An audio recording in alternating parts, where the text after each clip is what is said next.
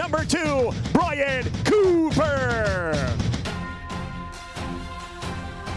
Jake Guentzel got in the end zone, an additional rush by the Mavs. He just centered it from behind the net. And Brian Cooper, left-handed shot, he just punched that home. Here comes Storm back the other way. He's upended by Cooper. Shot from the left point, bounces off a couple of players, past after. Finally. We're tied. Chance for Olofsson, he scores! Frederick Olofsson, far corner shot. Olofsson out, score! Here's a long range shot from Israel, gloved by Tomek, and he'll hang on.